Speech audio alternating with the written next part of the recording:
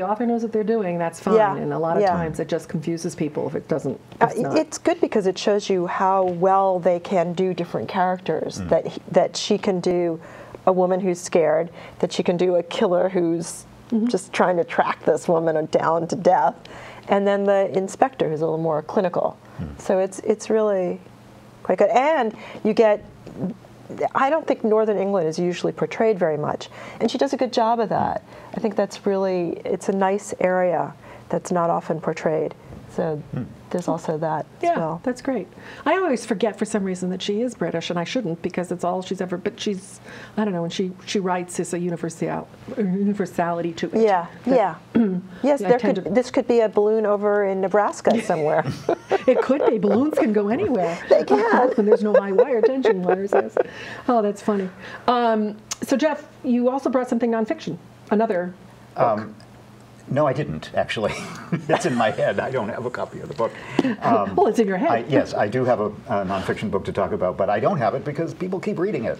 So um, Imagine that. I don't have a copy to, to show. Um, it's oh, and now I'm going to forget the name. The Last Castle.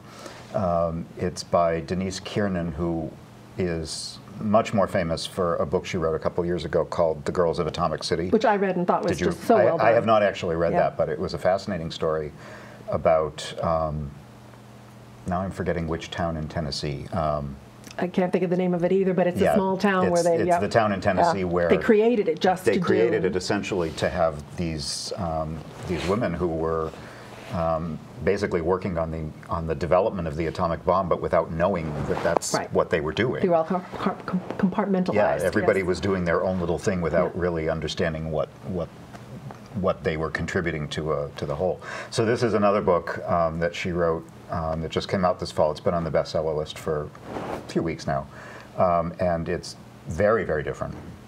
Um, except in her style of writing, it's about Biltmore House, which is in Asheville, Oh, yeah. North Carolina. I've actually been there. Me And- too. yes, me too. And Let's go again. Yeah, we could do a A reference book buzz on the on the road. Yes, on definitely. Um, so Biltmore, of course, is known for being the largest private home in the country, and it was built by George Vanderbilt. There's so many Vanderbilts, I can't keep them straight. Um, so it's it's basically a biography of the house, um, and it's kind of interesting because I, I wouldn't say I disliked. I, I enjoyed it very much. I felt I was I wanted a little bit more than I got out of it because as someone who's interested in architecture, I think I was kind of hoping for a little more about that. Um, but that would have made it a very different book. So it's kind of a mix of the development of the house and also the social background of the family and what happens to them as they live in the house and what happens to it after he dies and his wife dies and, and so on. Um, right up to the present where it's, it's now a remarkably successful museum because for a lot of historic homes like that, paying for themselves is actually very Yeah. difficult. Oh yes. Um, and the the thing with Biltmore that's kind of interesting is that both when it was originally planned and the way it is now, it wasn't just a big house. It was designed to be a working community. So they they have a railroad that they a special railroad spur that they built um, to bring the materials into this part of North Carolina in the mountains and uh, to build a village where the workers would would live um, and a church where the people who were living to you know it was almost almost feudal in a sense where this enormous house 250 rooms was being built. And it took years. And so all of this it, it, it was more than a construction site it actually became a whole Community. community. Um, and the other the other part that was was important was forestry because this was in the Pisgah National Forest, which is out kind of on the edge of the Smoky Mountains. And Vanderbilt wanted very much to try to advance the study of forestry in the United States. Um, so he, I forget how many acres, it, it was hundreds of thousands of acres, um, much more than it, than it is now. And he brought in very well-known people to try to develop that and, and to make it a sustainable um, working concern that would that would pay for itself. And that was sort of successful and sort of not um, at different points in its history. So it, it goes into a lot of that. Don't- they have a vineyard now? that Yes, they yeah. do. There's a vineyard. There's there's all kinds of stuff there. I've actually, I did eat at the restaurant There's Oh. restaurants. where the, where the and vineyard is. It was delicious. and- Yeah, it was lovely. So it's it, it's interesting to read about a particular corner of the Yeah. Vanderbilt family, which was huge, of course.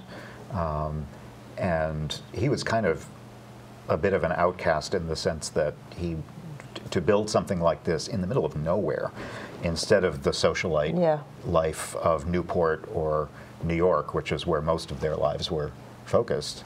Um, he went off in a completely different direction um, and took all of his the family money and built this massive house in the middle of nowhere. So it, it was very different. And of course, two of the most famous people in the country worked with him on it. Richard Morris Hunt, who is one of the biggest architects in American history, um, and Frederick Law Olmsted, who is the equivalent for landscape design. And the gardens are stunning. Yeah, the Yeah. gardens are amazing. I mean, I didn't even see a quarter of them so um, because I just couldn't do yeah, it. they were you, just- oh, you see a lot. Um, you, you you learn a lot about how the two of them um, advanced their careers through this project. In, Yeah. in fact, for both of them, this was one of the last projects in their careers. So it was kind of a culmination of the things that they had learned. Well, a lot of the land now is in trust to, or, or part of the United States Forest, isn't it? Yes, Park some of it they, they ended up having to sell a lot of it um, after George died. His widow, um, they they were just I mean it, it was like a lot of enormous homes in Britain too, where Yeah. You know um, as Abbey. times change. Well, yeah, that's and what it, it sounds like. A, a, a The institution a of the of income Downton Abbey- tax. Downton Abbey. yeah, I- actually, um, anyone who likes Downton Abbey, I think, would really Really? enjoy this because it's an American version of that. Oh, sure. and seeing how the the lifestyle changed from the 1890s when Yeah. the house was built, going through World War One, um, when it was used to um, the house was actually used for various purposes to, Yeah. to help the war effort. Yeah. And then after that, when the income tax was instituted, and Yeah. the world changed, Yeah. so it was it was a very different life for for everybody, and so it's it's interesting to see how that Well, that book that does, you know, a document, a book like that will document the times and the social, Yeah. the cultural, and and, everything he- else. they had all these famous people coming to visit too, Oh, yeah. writers and Yeah. Oh, actors. sure. And, Yeah, Yeah. they were a destination for sure. Yeah. yeah absolutely Oh, good. yeah. to segue, um, you know, especially if you like to read about place, I'm going to just, this is something a little different though, because this is An Unkindness of Magicians by Kat Howard, and it's a urban fantasy. We say urban because the place in question is New York City, which takes on a life of its own. You see New York City in a way that you never ever thought of it, because this is the world where um, there is a, a hidden magical people who really run their own world at the same time. And um, what fascinated me about this was that I, I love books about magic, and I love books about magic that the metaphor is obvious but also very, very clever. And this is because it's about power and how you Yeah. wield power. Um, and this is about a young woman who, it's basically she's she's come back to get some revenge.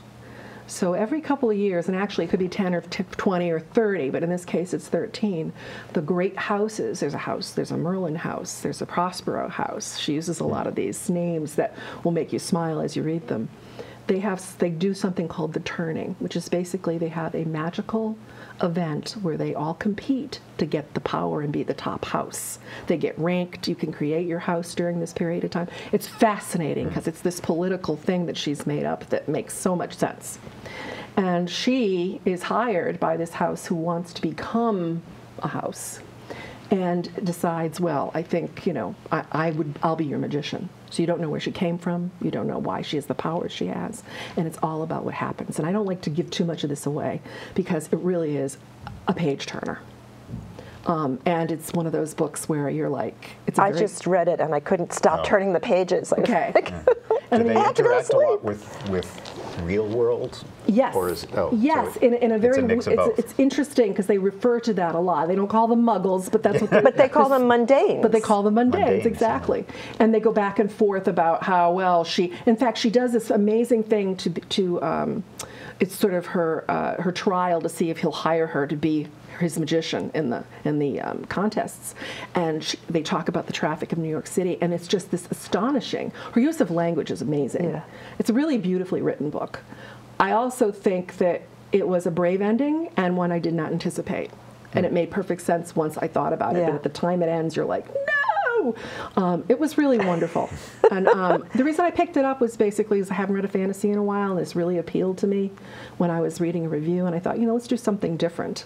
Um, and I'm, I'm really glad I did. Um, it was Yeah. Is it a series or just? I don't think so. She could turn this into a series, but I think it would be very don't that- difficult, and I don't know that she really wants to. Yeah, I don't know that she could do make it into a series. Yeah. Un- unless she went a totally a different character in the story. In story. the same world. Yeah. Yeah. Which she could. Yeah. But I mean, it's just, it's the usual Good. things. Uh, Families all have people that they disown. This is happening in this world. This really, and there's some humor, um, Yeah. and um, some romance. Uh, but one of the things I would want to really warn people about is that it's very graphic in a way Yeah. that is difficult for me to explain because she talks about um, certain things that happen to people while they're doing their magic that is really um, Disturbing. disturbing. Yeah, disturbing is a good word for it. But it's in context and it makes perfect sense. So, you know. So I would say that the unkindness of magicians was something different and I really thoroughly enjoyed it.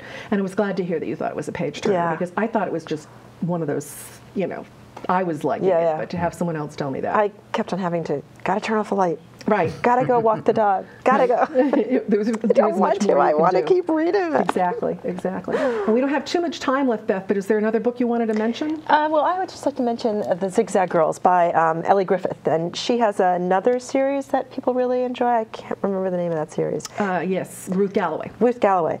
Um, this is a new series for her, and it takes place after World War II in the 1950s.